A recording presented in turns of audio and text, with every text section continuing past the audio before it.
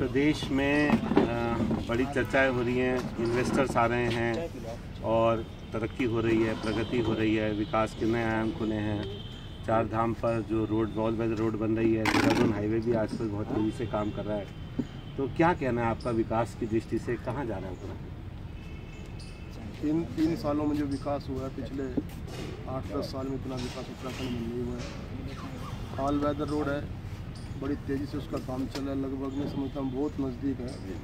आने वाले एक साल के अंदर वो पूरा हो जाएगा। दूसरा काम जो उत्तराखंड में बहुत बड़ा माननीय मोदी जी ने दिया है, रेल का, उसमें बहुत तेज़ी से काम चला ऋषिकेश का स्टेशन तैयार है लगभग। आगे भी, ये भी 2024 तक ये भी पूरा काम हो जाएगा। इससे प्रदेश में पर्यटन बहुत तेज़ी से बढ़ेगा और लोगों को बहुत अच्छी सुविधा मिलेगी।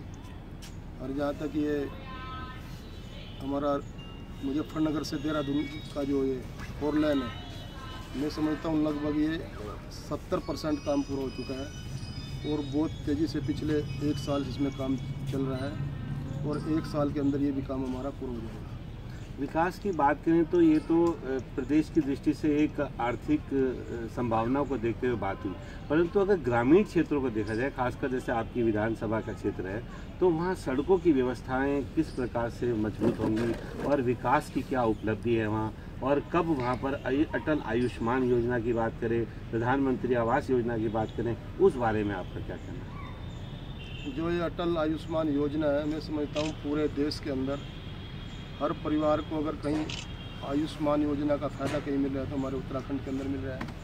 और हज़ारों हज़ारों लोगों को इसका फ़ायदा मिला है गरीब लोगों को। जो बेचारे पाँच सौ रुपये के लिए भटकते थे एक हज़ार के लिए भटकते थे आज उनको पाँच लाख का इलाज उनको सरकार फ्री दिला रही है। और मैं समझता हूँ मोदी जी की दुनिया में सबसे अच्छी योजना जो हमारा आयुष्मान योजना है इसको लोग स्वीकार भी कर रहे हैं, इससे लाभ भी ले रहे हैं।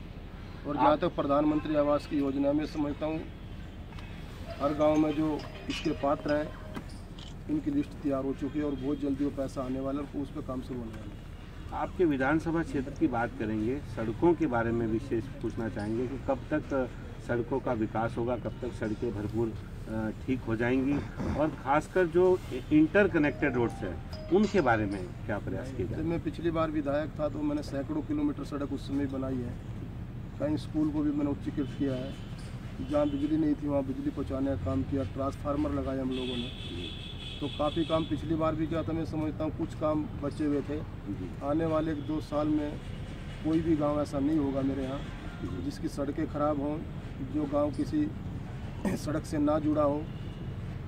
और मैं समझता हूँ आठ दस गाँव में अभी बहुत जल्दी पानी की टंकी भी शुरू होने वाली है और कुछ टंकियाँ बन चुकी हैं पानी की।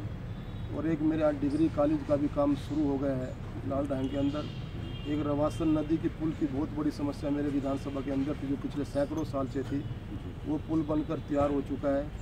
एक बिजली घर भी मेरे यहाँ बनकर तैयार हो चुका है लाल डैम के अंदर। एक बहुत बड़ी सड़क की समस्या थी मेरे यहाँ पर। हरिद्वार, हरिद्वारी नाम की सड़क थी जो आठ गाँव को जोड़ने का काम करती है।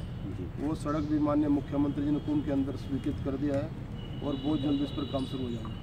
कुंभ की तैयारियाँ किस प्रकार से हरिद्वार में चल रही है? क्या आप जनता को कहना चाहेंगे, कोई संदेश देना चाहेंगे? कुंभ की